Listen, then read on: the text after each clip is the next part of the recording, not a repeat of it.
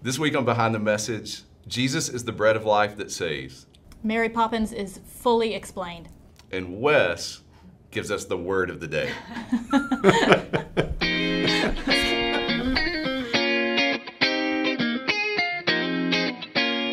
Hey, church family, we are still here. we are on month number two of Behind the Message with Daniel. Did you think we would make it this long? Nope, did not at all. And here's what's happening. So the mask mandate was just extended in Washington County until the end of September, just to keep you all aware and to keep you all at a safe distance. Um, We're neither at a safe distance nor are we wearing masks. exactly. And um, schools are beginning to reopen. So things are looking a little crazy um, around my house still, but maybe they'll be heading back to school pretty soon. Um, I am going to say this this morning: teachers are my heroes. Um, deserve all the prayers and all the thanks we can ever give them after a month of having my kiddos at home. Um, yes, teachers deserve all the praise. Now, before we jump into um, the material for today, which is awesome, I had a quick question for Daniel. Now, I'm ready. Daniel Daniel brought the message um, this past weekend, and I was in the 11 o'clock service on Sunday, so I'm not sure if this same comment was made. What service were you in? None. Okay, so Daniel, don't look at my notes. Daniel just threw out a question randomly after talking about setting up the context for John 6. You're both so nervous.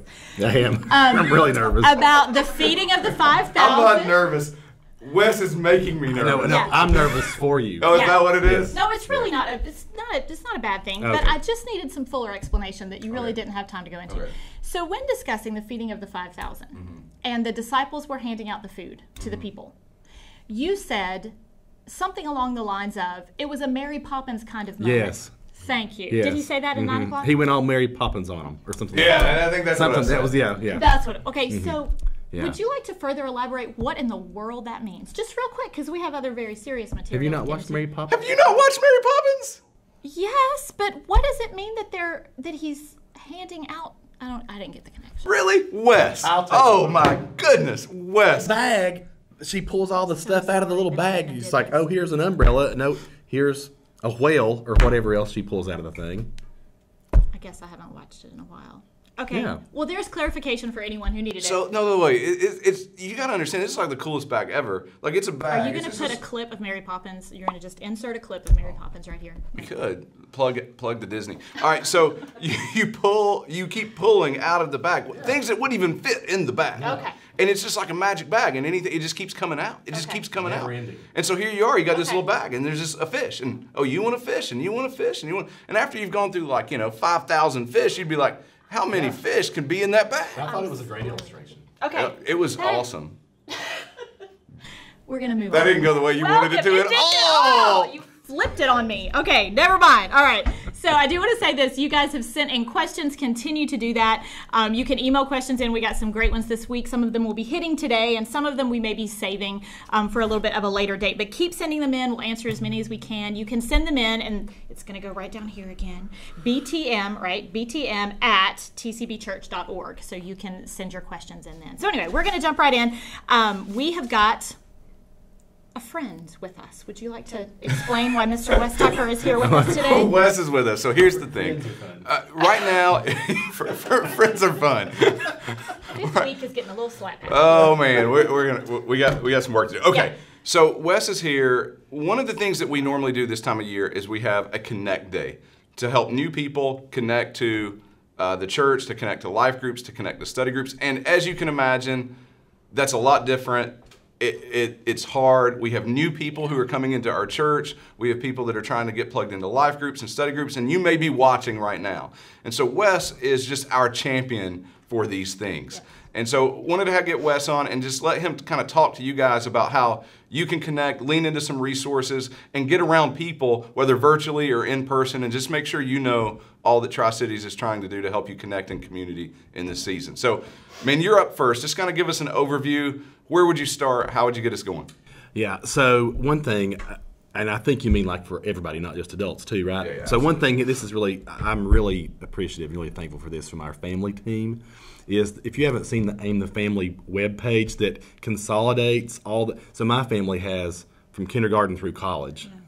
and both element. I mean, elementary. We have a, a student again, and so aggregating that to one place is really really helpful. Um, aim the family Thursday, Tuesday, Tuesday, I think is when it comes out, and then the Aim the Family website.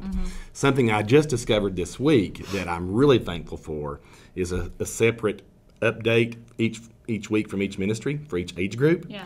And so, like, I saw your question this week uh, on Facebook. You were polling people to see how many emails they get from their teachers. And so, when I saw that Austin and Laura and I guess Stephanie had consolidated all this stuff to one page, and I thought, oh, can you talk to the like the school system? so that's great. All the resources on one page are really good.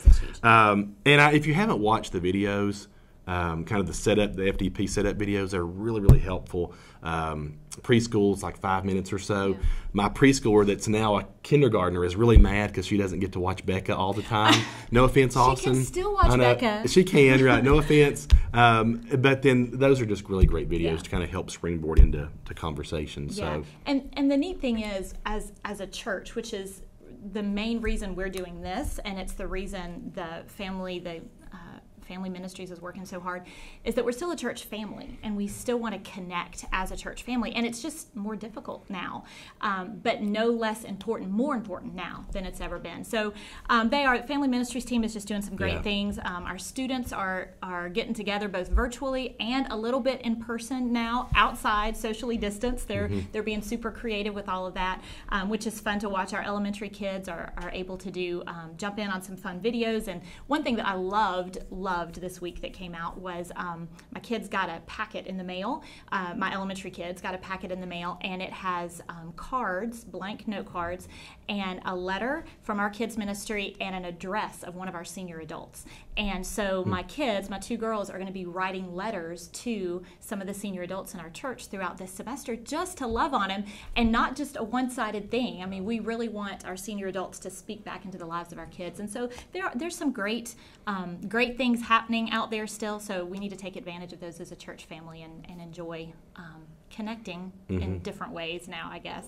Anyway. There's a, there's a lot of resources, and again, you can go a lot of places, but all of it is condensed on the news page. So if through the app or the website, go to the news page, click on news, uh, tcbchurch.org/news, and all this stuff is there. So you can kind of navigate through all these resources. So a lot for our families. We got some stuff for our adults too. Talk. Yeah, talk this is really that. important. So we had our first in-person Discover Tri Cities last Sunday, and so if you're really new here and you're watching maybe this for the first time um, and haven't been to Discover Tri Cities yet, it's the fourth Sunday each month at 10:30. So on the website tcbchurch.org slash discover you can see the times and you can register we'd love to have you meet with us and, and help us help you find out more about our church it's a great way to connect and then that serves as a springboard then to kind of help say hey i want help Yeah. help me connect that's Yeah. really helpful because then when 10 of you get right here in front of us then we can kind of man kind of just really um, really focus in on who's there and help connect you to a specific group that's helpful Yeah. for you It's neat. It's a neat thing. And our, our church staff, our, our teachers are working hard. I know my girls got phone calls. I mean, this was the week that supposed to be kids promoting up Mm-hmm. to the next class, and that's always a big thing at church. And they got calls from their new group leaders and Yeah. um, just loving on them a little bit. And so, um, anyway, Yeah. everybody's really working hard. So, church family, um, thank everybody as you see them, um, but press into some of these resources too because it's a it's a big deal. Okay, so we're going to move into a section we call "What Got You" um, that Daniel and I try to do um, every week. Wes is going to stay in here for this one because Daniel preached this week, so we also want to hear um, from someone else about what got you during the message besides Mary Poppins. Uh, but this is just a short takeaway, um, something that stuck with us um, from the message, something that maybe propelled us to action. So we're gonna we're gonna go into that. So Wes, what got you um, this weekend? So uh, we've been reading the Gospels on the weekend already too. Last week, and the sermon was just kind of through a few different chapters of John, but Yeah. the whole book of John is really John is presenting Jesus as divine. It's one of his purposes.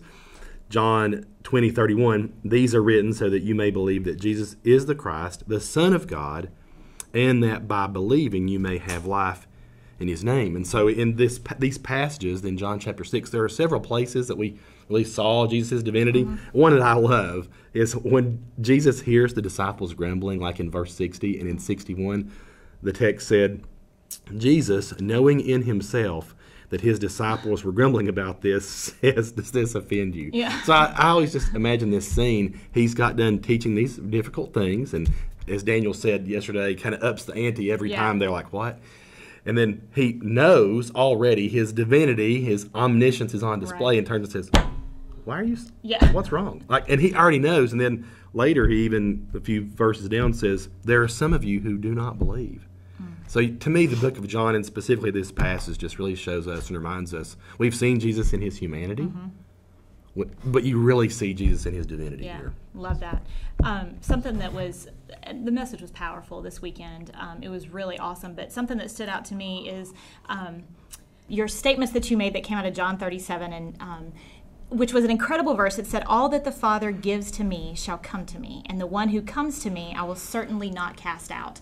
And what that brought to my attention in a fresh new way is that there will always be this tension between God's sovereignty, man's responsibility in, in salvation, and the glory of that and the mystery of that. But for you to say that number one, the Father gives to Jesus all who will be saved, and the second thing was, once given, Jesus will never cast any of them away um, it was such a moment for me to take all the questions and the mystery that it's okay. I mean, to ponder the deep things of God and to seek His face, but to always lay those questions at the feet of his throne. His complete sovereignty is over all of that. And so that's that's what got me from the message this week. It was it was powerful. It was freeing for me um, i think so anyway that leads us into um, sermon recap from you just to kind of hit the highlights as we've kind of told you what got us but Yeah, I need some help. Oh. You ever seen Price is Right? Oh yeah. You know the come on down. See, I can't say that for myself, so I, I've, I got, I've got, refuse to say it. I've got to go away, and she refuses. So I, I need your best. Uh, is it what is it? What's the guy's name? bob barker No, no, Bob Barker's the host. Who was the guy that did the Rod. Rod uh, Rowdy. off camera? We get the answer. It's, He, it's he had a shiny jacket. on. He- I want a shiny You, jacket. uh, you know, you can't get the shiny jacket, but I need, I need a good, Okay, strong, you know. see. Daniel Broyles, come on down. That's what I'm talking about. not oh my word John 6, verse 48. I want to read that to you. I am the bread of life. Your fathers ate the manna in the wilderness, and they died. Speaking of himself, this is the bread that comes down from heaven, so that one may eat of it and not die. Our big truth was Jesus is the bread of life.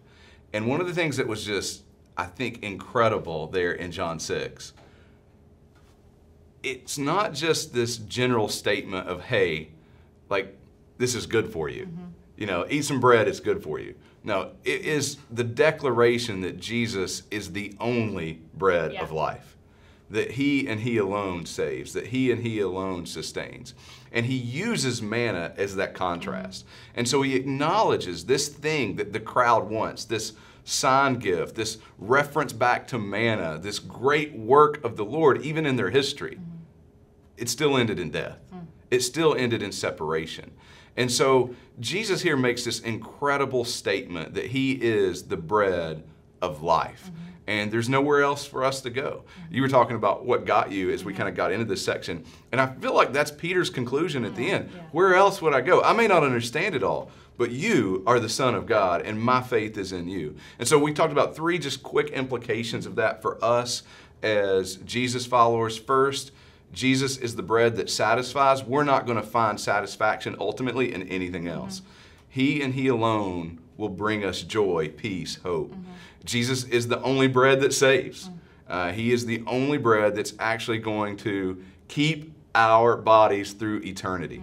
And so that leads us to our third one Jesus is the bread that sustains.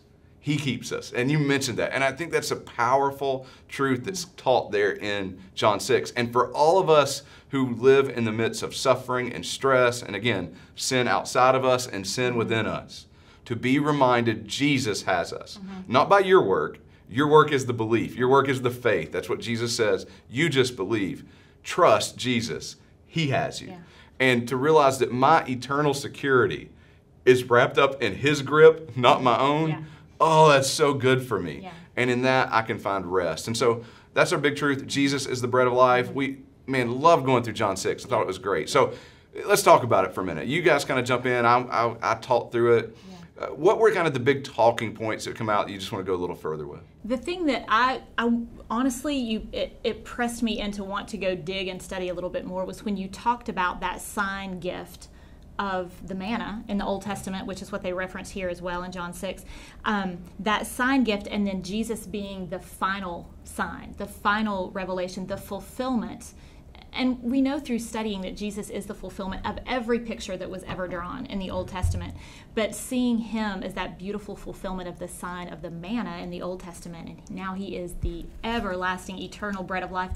And, and it got me even thinking. I was I was actually reading in my quiet time this morning, just some of the characteristics of what the manna was, and as glorious as it was, and as much of a miracle as it was, it still disappeared. It still evaporated. They still, it never satisfied them. Like they still grumbled and wanted something else besides this bread.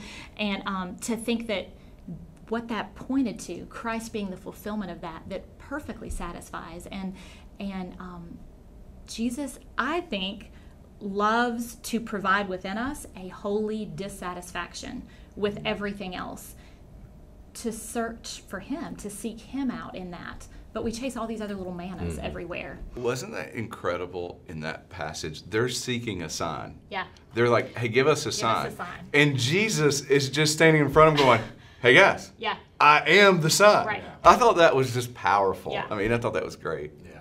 and, and you look at the disciples and you go "Uh, foolish people do you not see him standing right in front of you Yeah. but yeah we're the exact same way Yeah, and I think a great thing for people to reflect on and think about this week is what other things Yeah. we let we try to satisfy ourselves in and our longings in. It can be other relationships. Our life group talked about this last night. One of the one of the very first things we try to do is find satisfaction in other people and other mm-hmm. relationships, um, and even in accomplishments and pursuits and finding identity in mm-hmm. things that are not. It's like Jesus is standing here mm-hmm. What else do you think would better satisfy your greatest need? And I think that's where we screw it up too. We forget our greatest need Right. is to be reconciled to the Father, Yeah. who is giving us to the Son anyway. Yeah. And um, yeah, so I think the satisfaction part is a, a huge, everyday, day by day Mm-hmm. type of sanctification element that is jumps out here in this passage. yeah Sweet. it was powerful We good? All right. So we got some questions that came in through the mailbox, and we want to make sure we get some time for those. Yeah. So uh, here's the first one. Are you ready? You ready? You guys ready? no because i want to ask the question you'll answer but go ahead Uh, all right. So we're actually going to hold this question. We're not going to answer it right now. And we've been talking. What we're going to try to do is some of these really big questions. We're going to have a special episode that we try to get to maybe once a month, once every couple of months, to come back and really spend some time and talk through some of these just really big questions that are more um, uh, contemporary issue type Yeah. questions. And so one of those that came in uh, is. because you all took Daniel's challenge seriously, and so a question did come in for me in particular, and um, it's a pretty involved. It's a good one. It's a pretty involved one, and so we're gonna not answer it. No, I'm just kidding. So, so I just I just want to point out something. what There was a hard question for Jennifer. there was, For Jennifer. which is why Jennifer is now asking the questions. They're going to be answered by you two today, No, no, no. and then Here we go. Here we go. Who can younger women look up to to kind of model for them uh, what it means to be a godly woman in today's culture? Mm-hmm. And so that gets into a lot of biblical womanhood. There's kind of some breakdown to those questions. So what we're going to do is we're going to come back to that one in an episode to come. Yeah. And we're going to talk a little bit about biblical womanhood and what that needs to look like in our society and how uh, young women specifically, teenagers, 20 somethings, can look up to older women and who they should, who, who and kind of how they should Yeah. learn from in that context. So that's a great question. Yeah. We'll get back to that one. One for this week related to what we talked about with our share service Mm-hmm. and our prayer service to go advance the gospel. How do I share the gospel with someone that doesn't believe the Bible is the inspired word of God, but a book that has through translations become untrue? So, in other words, how do you share the gospel with someone when there's not a belief that the Mm-hmm. Bible is the word of God? Yeah. All right. So answer this a couple different ways. The first thing, let's address the It's a great translation. question, by the yeah. way. Let's address the translation issue for just a second. Okay. War and Peace, Les Miserables, all written in not English, right? So translate the translation issue and the inspiration issue. I love your translation issue that you just said, all written in not English. yeah, right. Well, Okay. because I don't uh, French, Russian, whatever. You- Okay. From Yeah, whatever. They ain't English. Okay. Is that better? No. So, inspiration and translation are separate issues. Yeah. Okay, so that's the first thing. So, I think there's a good thing to think about here, too. A lot of people that might ask this or want to bring this up in a conversation, they don't even know what they're asking.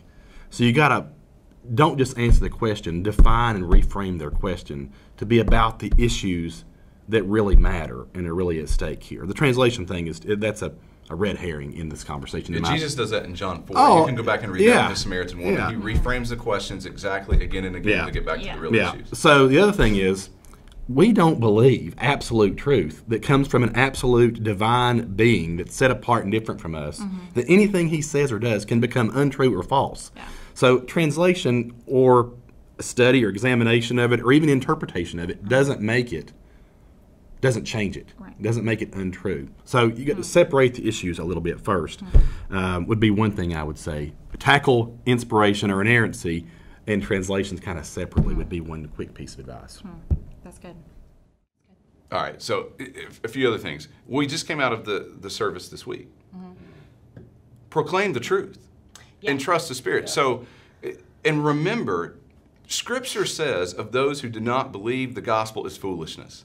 Yeah. So the fact that you're sharing something with an unbeliever and they think it's just, it's just absurd, Scripture tells you that's going to be the reality of the situation.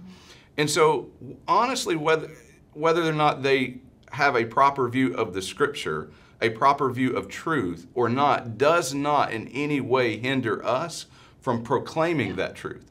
And so, just like we talked about uh, as we walked in the sermon, when we get that and accept that view in our proclamation of the gospel, then we proclaim more boldly. We pray more desperately and we love more truly. And I think that comes into this very question. We proclaim the truth and trust the Spirit. Yeah. We're not dependent on them accepting that as truth. Our goal is to worship the one true God in faith that proclaims those things out and trust Him to do a work in their life and for the Spirit to open their eyes to that truth. And so you just go proclaim the gospel Yeah. and you do the same thing that you would do. And I think Wes's point is really important. You turn the conversation back to the gospel, back to the realities of who Jesus is, and you avoid all those secondary issues that become a distraction. And Yeah. trust God that He can take care of the secondary issues. We don't have to go in with a debate prepared out or a thesis prepared out on that. Um, okay, so we had a second question, and it was All right. this. Starts out, hey friends. That was a sweet way to start a letter, by the way. Hey friends, thanks for your work on the behind the message videos. Thank you for saying thank you. Uh, my question is in reference to the word believe. Throughout this chapter, I'm counting eight times that this word is used. Specifically within the context of John 6:29 and John 6:35, what should a correct explication of Jesus' use of the word believe look like? And what implications does that lead us to in regards to belief? So, um, Can- go. Wait, wait, real quick. You can answer first, but I want to ask. a You can answer, period. No. So I'm from East Tennessee. Is explication a word, It's explication. i'm unsure or is it just a typo for explanation? Explication's unsure. a Off camera, we're going to find out the answer to that. We'll come back to you in a minute. Yeah. All right, Wes. No, okay, so question. let's zoom out for just a minute. Really, what we're talking about here too is what what external, what we see on the outside in conversion that it goes along with what happens on the inside. Yeah. So we said that the Spirit is the one who gives life. That's done in regeneration or when we're born again. And so the external display of that's conversion. There are two parts to that, really important faith and repentance that are inseparable. So belief or faith or trust and repentance. You cannot break them apart. Uh, they must both be present. If true um, mental and cognitive and uh, conviction level assent occurs in faith, repentance will also always be married with it. You, you cannot have saving faith without repentance. Okay. This is the first thing I would help us. That's in our statement of faith, the Yeah. Baptist faith and message, that these things are inseparable Inseparable, yeah. acts of grace. And uh, I'd, I'd add to that too, you get a pretty good definition from Jesus here in John 6. Mm-hmm. because they believed in Jesus Yeah. enough that they've got on boats, they've walked around. I mean, they've done all this stuff seeking him out. But Jesus is clear that they don't really believe in who he actually is. Mm-hmm. They believe in a version of Jesus, but that version of Jesus isn't authentic. It's not real. It's not the Son of God. It's not the same version of Jesus that Peter confesses at the end. And so they depart. And Jesus makes that clear. That's really important for us to realize that there are people who believe in a version of Jesus mm-hmm. that's very close. Man, he can do miracles. He can do great things. He's there to give me goodies, right? He's there to feed me, to help me. But it's not the authentic Jesus. It is not the one true God who he and he alone gives life. And Jesus makes that distinction in John chapter 6. So when we talk about that belief that's there, it is a belief that is inseparable from a death to life, mm-hmm. you know, scenario. Die to self, repent in faith, find life in Jesus and Jesus alone. And that's where Peter has that conclusion at the end of John 6. So John 6 is a great explanation. Well, and inter- later, interestingly too, John is going to write some letters that are going to be all about hmm. how you know that your faith is genuine. Hmm. If you love me, you will keep my commandments. If you say you believe these things, your actions will bear this out. And I don't think that's any coincidence that later, 50 years later, when hmm. John's reflecting on his life and the ministry with Jesus, he's now saying, okay, I wrote about so things that you would believe, like I mm-hmm. read earlier in John 20. And later, he's going to say, saving faith is proven by your obedience mm-hmm. to me. Mm-hmm. Yeah. All right, To- to question number three. Jennifer, back to you. Yes. What is the meaning of Jesus' words in John 6, 63 through 65? What is he working to help the people understand, and what are the implications of his words in these verses for us today? John 6, 63 through 65. Yeah. So I wanted to read those, or at least you know go mm-hmm. over them really fast. So John 6, 63 through 65 says this It is the Spirit who gives life, the flesh profits nothing. The words that I have spoken to you are spirit and are life, but there are some of you who do not believe. For Jesus knew from the beginning who they were who did not believe, and who it was that would betray him. And he was saying, For this reason I have said to you that no one can come to me unless it has been granted him from the Father. Um, powerful um, verse there, and that um, I think what's exciting about that is um, it's it's this sense of freedom again and you talked about it when we were when we were talking about the, the whole translation issue and i talked about it with the sovereignty of god issue earlier on and it comes back again in that as we go proclaiming the gospel boldly in complete faith and confidence trusting not in our proclamation, trusting in the truth of the gospel, the power of the gospel, and that God knows exactly um, what is going to happen. We can we can proclaim boldly in pretty uncomfortable situations at times. Um, sometimes we always want to say we need to be within um, the close context of a relationship or someone that we've known that we've built that relationship with and that's not all that's not the case. There are times when we are put in a position with another person our paths cross and god says this is when you proclaim the truth of the gospel. Um, and there is a great example of that. We actually have a, a quick video clip that we're going to get to share with you um, today. It's by a sweet lady in our church. Her name is aspen thompson. And um, you're going to get to see you're going to get to hear her story that pretty much lives out this verse i think. Um, so we're going to take a moment just to show you a quick go video I'm Aspen Thompson, and welcome to the Go Challenge.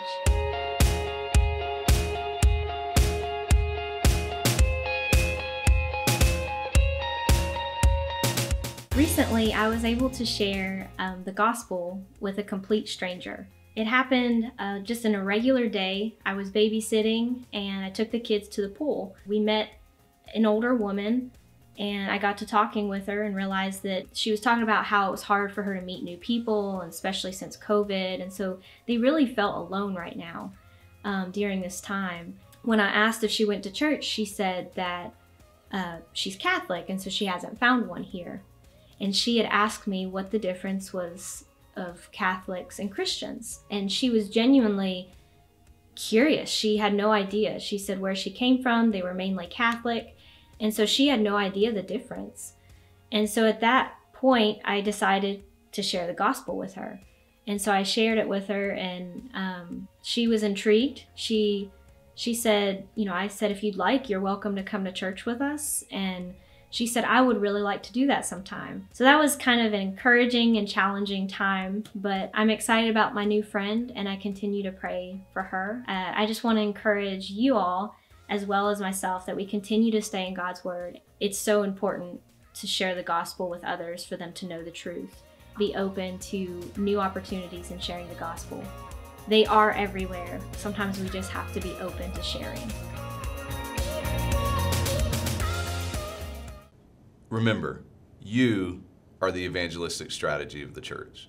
It's not some event. It's not some program. You're not you're not going to bring them to uh, the pastors. All this. You go out with the gospel. Mm-hmm. And so I want to encourage you to do a few things. Lean back into the resources that are there for you. Uh, we have got those great go moments that challenge you to just set a goal to turn everyday conversations into gospel conversations. Set a goal for yourself. Let your life group know that goal. Lean into other people and just seize everyday moments. Mm-hmm. And what you'll find is when you start trying to do that, it will become much more natural to you once you begin. Mm-hmm. And so it can be as simple as asking the waitress, Hey, how can I pray for you? Uh, we're going to pray before our food, but how can I pray for you? And as she gives you a way to pray for her, you're able to start talking uh, to her further. Mm-hmm. Pray for those names that are on your heart. Pray that God would give you boldness to share the gospel, that He would go before you and just in the power of His Spirit change their life. Mm-hmm but go out on mission and make much of Jesus. And so, uh, want to always keep that in front of you as a church, challenge you in that, lean on your life group, get support, but go in that together. You guys got anything to add to that? Great job, Aspen. That was an encouragement. It was yeah. an encouragement. Sweet. That's awesome. All right, we want to end like we do every week, and um, we want to read scripture over you and pray scripture over you. So we're going to do that right now. We're going to um, pray John 6 um, 67 through 69, um, and just pray that over our church family. So Jesus said to the twelve, Do you want to go away as well? Um, Simon Peter answered him, Lord, to whom shall we go? And Father, we proclaim right now that um, we lack a lot of understanding, we lack a lot of wisdom, but Lord, we resonate with Simon Peter and we say, Lord, to whom shall we go? You have the words of eternal life. And Father God, we want to cling to those words today. We have believed and we have come to know that you are the Holy One of God. And we praise you for that. We thank you for who you are in our lives. And we love you. And it's in your Son's name we pray. Amen. Explication is a word. Webster defines it as the process of analyzing and developing an idea or principle in detail. So, yes, that person that submitted that question did use it correctly. Boom.